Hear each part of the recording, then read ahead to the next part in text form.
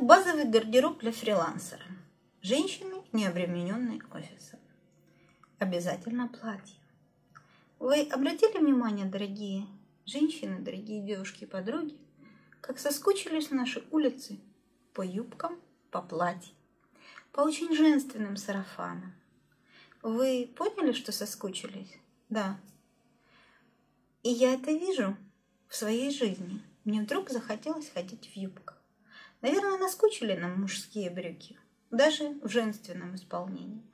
Наверное, практичность э, загнала нас в угол.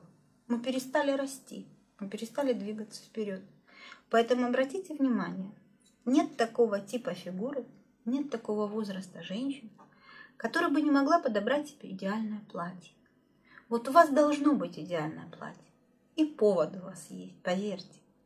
Это не обязательно роскошное, кричащее, э, щедро декорированное всякой мелочью, стразами, пуговками, бусиками, пайетками, бисером. Это правильное платье, которое вас может представить этому миру. Начните искать это платье.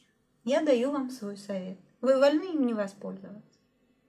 Если у вас есть немножко времени, если вас заинтриговала вообще та беседа, которую я с вами веду, возьмите себя, возьмите своих подружек, виртуальных или настоящих. Пойдите в хороший магазин, пойдите в бутик и перемерите все, что вам в голову не пришло бы померить раньше. Просто посмотрите на себя другими глазами. Я вас уверяю, вы себя не знаете. Если вы никогда глубоко не копали, вы себя не знаете. Вы не знаете, как вам идет платье. Вы не знаете, как вас украшает юбка. Вы не знаете, как можно красиво преобразить самый спокойный, базовый, серый, бежевый, белый, в крайнем случае черный цвет с помощью украшений в правильное платье. Еще один совет. Никогда не покупайте бижутерию, которая смотрится как елочные игрушки. Если вы молоденькая, юная, начинающая девушка, если вы тинейджер, пожалуйста, вы можете себе это позволить. Но нехорошо, когда женщина, знающая себе цену, одевает пластиковые украшения. Это о ней говорит очень много. Я не умею, я не научилась. Мне плевать на ваше мнение. Я неинтересна сама себе. Ваша бижутерия, дорогие дамы, должна быть похожа на ювелирное украшение или же на какую-то редкую вещь. Handmade, как сейчас говорят, ручная работа. Не обязательно это миллион валенных бусинок. Это может быть действительно что-то оригинальное, то, что выражает вашу личную индивидуальность. Обратите на это внимание. Мы с вами договорились, что базовый гардероб очень спокойных цветов и только яркие аксессуары, яркие украшения. А сумочки вы почитаете, вы подберете себе размер. Если вам нужно вытянуть фигуру, берите сумку на длинном ремне. Если вам, наоборот, нужно какую-то часть тела скорректировать, треугольники, перевернутый треугольник, вы можете сумку носить под мышкой или на бедре. Она или увеличит, или уменьшит. Это индивидуально, и это ваша работа. Это ваш путь. Он очень интересный. Вы, когда погрузитесь в эту моду, вы узнаете о себе очень много интересного. Вы узнаете об окружающем мире очень много интересного. И это то масло, которое вас может спасти в тяжелые моменты. Вы всегда должны выглядеть на 5 ну, не 12, смотря какая градация. Вы всегда должны нести себя большим достоинством. Посмотрите сейчас на себя в зеркало. Не преувеличивайте и не преуменьшайте свои недостатки. Будьте честны с собой. Найдите время. Посмотрите новые тренды. Посмотрите на свой гардероб. Посмотрите на него новыми глазами. Уберите все пестрое, разноцветное, безвкусное. Я не говорю о красивых вкусных сочетаниях.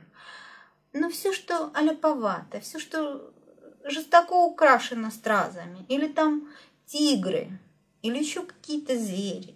Если хотите тигра, пожалуйста, капелька, маленький штрих, ручка на сумочке или клипс. Что-то такое очень незаметное. Если вы все в тигре, это означает, что у вас агрессия, и она не имеет никакого выхода. И у вас нету возможности свою ярость слить каким-то другим образом. Вы преображаетесь в тигра.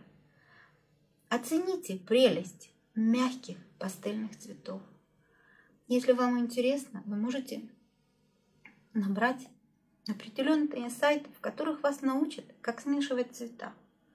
Кроме того, что есть основные три основных цвета – красный, синий и желтый, при их смешении мы получаем дополнительные основные цвета – зеленый, фиолетовый, коричневый. Если мы их смешиваем с соседними цветами, мы получаем палитру многих-многих оттенков. Но у вас главный учитель – это природа. Природа ее творец. Посмотрите, какова красивая гамма песочных, мокрого, сухого песка. Даже пыль имеет оттенки. Очень красиво, когда это базовые цвета. И вы можете потом ни в чем себе не отказывать в буйстве красок. И вас никто не упрекнет в отсутствии вкуса. Потому что хуже нет, когда женщина безвкусно одета. Это снижает ее внутренний рейтинг на порядок, а то и больше. И у вас есть возможность получить правильную информацию. У вас есть источники доступные. Просто захотите. Нельзя кушать из одноразовой посуды каждый день. Нельзя превращать свою жизнь в унылое таскание некрасивых вещей. Ищите свой стиль. Вы можете гардероб формировать, исходя из, из, из необходимости выглядеть таким или иным образом в том месте, где вы служите или не служите. Но вы можете подразделить свой гардероб еще на стиле. О стилях тоже много написано. Есть модные, есть не модные. Я очень люблю бохо. Это прекрасный стиль длинных воланных юбок. Но если они будут красные, вы будете смахивать на цыганку. Если черные, на Елену Ваенку. А если это будет пастель хорошо украшена, вы будете самой собой. Будете красивой, милой дамой. Подарите свою нежность своим близким. Девочки, милые, не экономьте на себе, я не говорю о деньгах, я говорю о времени. Я говорю о том душевном времени, которое вы можете посвятить самой себе. Вы поверьте, что это зерно, которое вы посеете в поисках себя, оно дает правильный всход всегда. Потому что нельзя, не заглянув вовнутрь, правильно сформулировать послание миру. Итак, базовый гардероб. Девушки, женщины, фрилансеры. Это топы однотонные, светлые, темные. Это джемпера, это футболки хорошего качественного трикотажа. И желательно все без принтов. Это набор шарфов, которые вам зададут тон. И если вы не готовы отказаться от черного, хотя бы уберите его пониже. Завяжите шарфик, отпарите от мужниной сорочки воротничок, застегните ее на шейке. Это будет очень-очень уместно. Поиграйте, мода не должна быть слишком серьезной. Это хорошие брюки, которые сидят на вас безукоризненно. В зависимости от вашей фигуры вы всегда можете подобрать правильную пару брюк, бриджей, иногда шортов, если вы молодая стройная девушка. Не переборщайте с оголенностями. Если вы открываете часть ноги, закройте часть верха, иначе сквозняк выдует все правильно из вашего внешнего вида. Если вы Юная тоненькая твиги, тростиночка, вам проще. Если вы корпулентная дама, вам сложнее, но тем не менее интереснее.